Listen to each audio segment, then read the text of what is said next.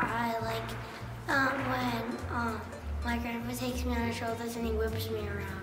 You go to the park with me and get lunch with me and get toys and stuff like that. Do art.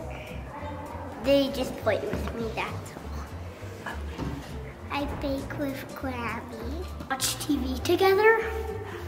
Sometimes, when we're going to Arizona, they always like get these really good snacks for us. So, good taste buds. If I have a whole day with them, there's always an activity planned. We ski, cross country, and go bowling. Sometimes play board games, and